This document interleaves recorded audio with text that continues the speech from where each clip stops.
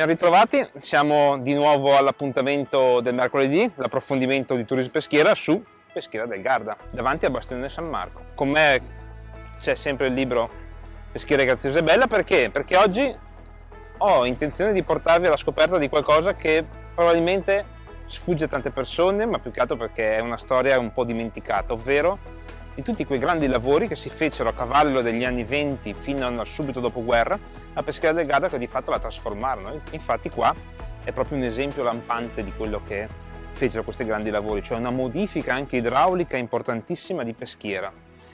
E quindi io comincio con questa foto, è una foto della prima della guerra, quindi saremo intorno agli anni 30, agli anni 40, lo sappiamo perché? Perché qua vediamo il ponte asburgico doppio treno e parte diciamo carrabile per i carri sotto che è stato distrutto durante i bombardamenti della seconda guerra mondiale lasciando spazio proprio al ponte odierno dei sette ponti che è là.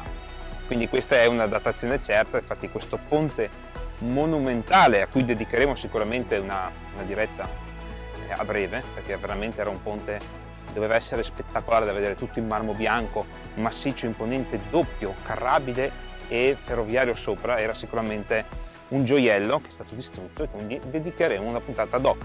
Comunque siamo qua, siamo proprio nel punto in cui fu scattata questa foto, esattamente in questo punto. Ce ne rendiamo conto perché? Perché questa è la Provianda Asburgica, cioè un edificio asburgico di magazzino, che è proprio quello che stiamo inquadrando in questo momento. Esattamente quell'angolo qui è quello che si vede nella foto, quindi questo magazzino.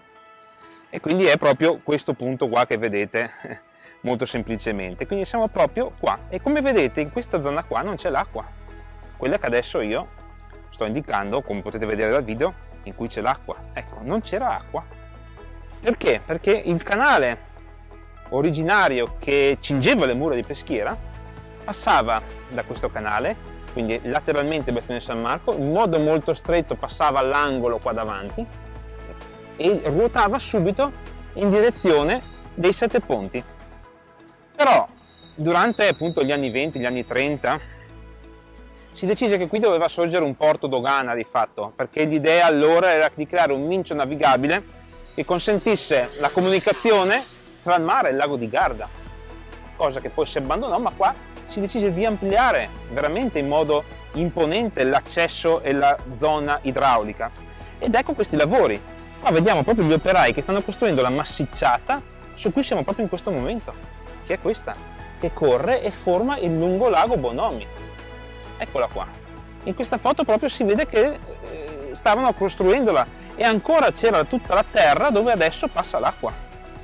L'acqua passava lateralmente in modo più stretto in un canale molto più stretto, il canale, la curva si chiamava allora Cingarlini, per poi prendere la via dei, dai ponte dei Voltoni, unirsi con gli altri canali e di conseguenza formare il fiume Mincio, quindi ci fu veramente un lavoro, pensate, di eh, chiusura idraulica, scavo, rimozione del terreno e creazione di fatto di un fiume che non esisteva. Quindi veramente lavori importantissimi che cambiarono proprio la, l'assetto di Peschiera, come gli altri che poi vi illustrerò con le prossime dirette di approfondimento, perché noi facciamo queste dirette con il solo scopo di farvi apprezzare tutta quella peschiera nascosta, tutta quella storia, quella grandissima storia che, ha, che racchiude dentro le mura questa città e che deve essere conosciuta perché? Perché ha un valore aggiunto per questa città, perché ha un valore aggiunto per tutti voi che verrete a visitarla. Perché fare una passeggiata e comprendere, sapere anche magari poco, ma qualcosa del posto in cui si è, beh, dà a questo posto un valore aggiunto e regala anche quel po' di cultura che penso sia la base su cui tutti noi dovremmo cercare di spingere sempre di più, sempre di più e sempre di più. Per questo di peschiera è qua, Franco Lanfredi sta riprendendo, io sto parlando, lo facciamo proprio per amore del territorio e per un senso anche civico di far conoscere. Ho sfogliato e siamo arrivati proprio a una foto emblematica. Questo è, è quel ponte asburgico che vi ho mostrato prima nella foto, distrutto dai bombardamenti della seconda guerra mondiale, completamente distrutto. Infatti si vedono i fori dei passaggi pedonali, sopra correva la ferrovia e chiaramente, caspita, questo, questo ponte fu distrutto e ricostruito nello stato di, attuale, cioè il sette ponti attuale. Qua vediamo proprio l'angolo, questo è il saliente, vi faccio vedere col dito, questo piccolo saliente è esattamente quello che vediamo, eccolo lì, eccolo qua, questo saliente qua, adesso tolgo il dito così si vede, eccolo qua.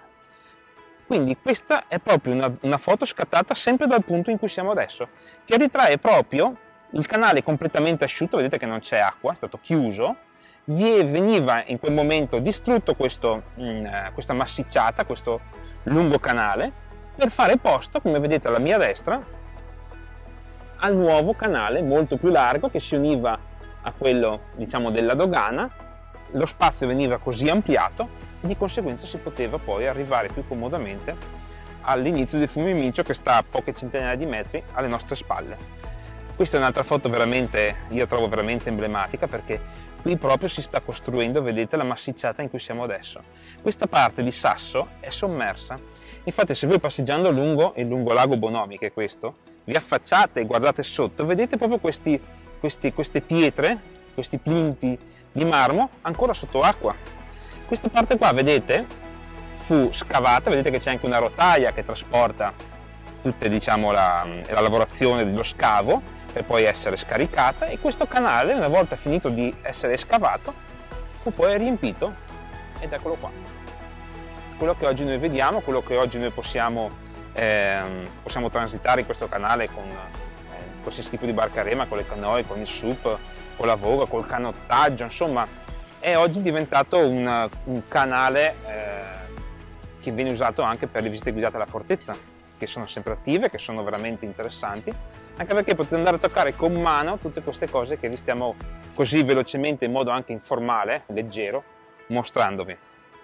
Quindi con oggi chiudiamo ecco, questo piccolo approfondimento del bastione San Marco, che magari prima della chiusura della diretta potrete vedere anche frontalmente perché a me ricorda tantissimo la prua di una grande nave, quando il saliente viene inquadrato esattamente di fronte, si apre a noi come una prua di una nave che solca le acque, questo proprio è, sembra veramente questo. E quindi da questo bastione che vi ricordo potete tranquillamente visitare a piedi entrando da Porta Verona, quella porta bellissima che avete visto nei nostri posti con il leone di San Marco sulla sommità, entrando appena a sinistra c'è la passeggiata che vi conduce proprio sul percorso di ronda del bastione e da lì potete ammirare da Sirmione alla parte est del lago fino alla zona in cui siamo in questo momento. Io vi saluto, vi lascio in questa passeggiata per vedere appunto questo bastione bellissimo e ci vediamo al prossimo mercoledì.